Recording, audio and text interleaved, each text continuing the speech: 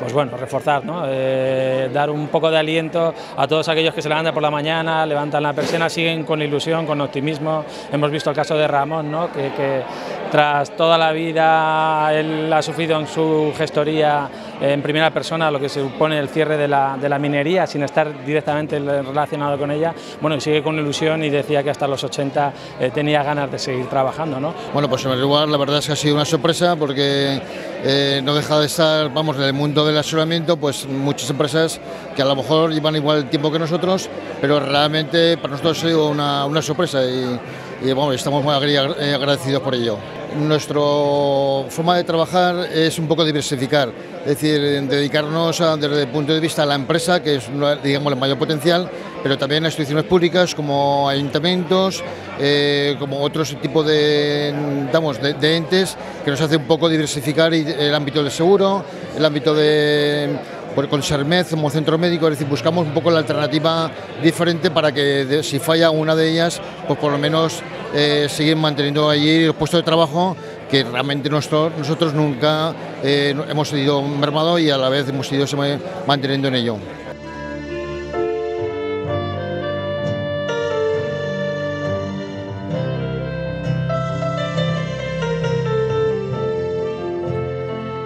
Para primero pues para fomentar ese espíritu eh, de, emprendimiento, de innovación, como era otro de los premios en el caso de Pedro Valero, ¿no? en un sector tan complicado y tan atomizado como es el aceite, pues el saber ser disruptivo, el tener una propuesta de valor que realmente ofrece algo diferente, bueno, y el resultado en tan poco tiempo pues ha abierto mercado en Alemania, ha abierto mercado en Francia.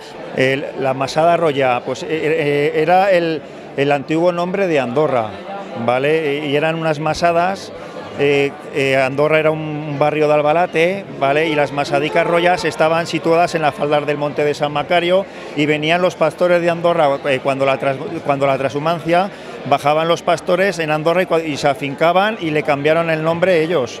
Aquí es que, claro, al ser una zona de, mucho, mucho aceite, es, estamos, hay mucha, muchísima competencia.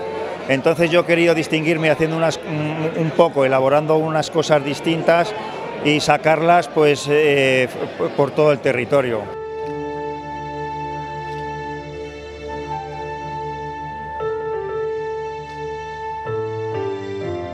En vuestro caso ahora toca a vosotros, ¿no? a los medios de comunicación, que son los que de verdad ponéis en valor todo esto, porque se pueden hacer muchas cosas, pero si esas cosas nadie las ve, parece que aquí no, no, no se hace nada. ¿no? Yo creo que es importante y por eso a vosotros os tocaba este año el reconocimiento eh, en representación a los medios de comunicación y en especial al vuestro, porque de verdad hacéis un trabajo importantísimo para el territorio. Nos acompañáis en todo lo que necesitamos, les sabéis dar un enfoque inteligente y muchas veces ¿no? Eh, con esa sutileza que dais los medios que es necesario pues, para que de fuera nos vean como un territorio amable, que es el objetivo. Bueno, es un espaldarazo para seguir trabajando. En la comarca siempre hemos realizado un tipo de periodismo muy comprometido en el que las cuestiones que afectan al territorio las sentimos como propias y es un premio que también queremos hacer extensible a todos los compañeros periodistas de la provincia de Teruel que desarrollan un trabajo a veces muy complicado, igual que las empresas tienen dificultades para competir en igualdad de condiciones, los periodistas también. Eh, luchamos mucho por el territorio y con mucho arraigo para sacar los temas adelante y que tengan voz fuera de nuestra zona, sobre todo trasladar las principales reivindicaciones que nos afectan a los diarios y las emisoras eh, nacionales.